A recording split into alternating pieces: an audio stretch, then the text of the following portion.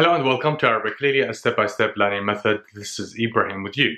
In this video lesson, we'll be learning some of the very basic greetings, but also very important as people would always use them to greet people and to reply. Let's start. Shlonak.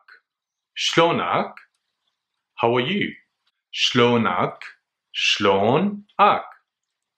Shlonek. Shlonek. Shlonek. Shlonek. So to a male, you would say Shlonak. Shlonak Ahmad. Shlonek Sarah. Or you can say Kifak Ahmad. Kifak. Kifak. Kifek. Kifek. Kifek. Kifek.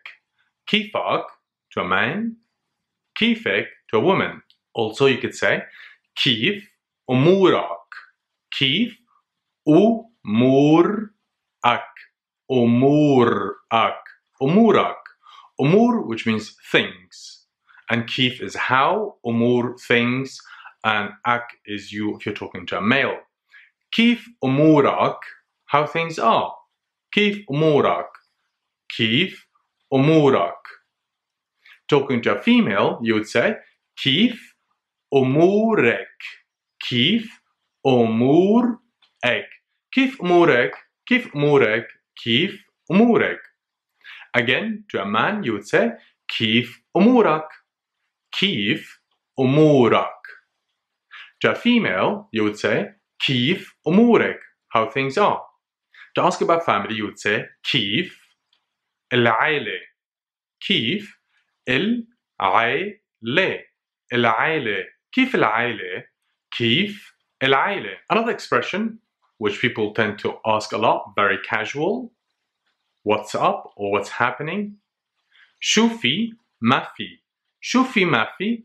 Shufi mafi. Shufi mafi. As all people would sometimes would say, Shu akhbar, which means news. Shu what? Akhbar, news. Ak, if you're talking to a masculine, a male directly. Shu akhbarak.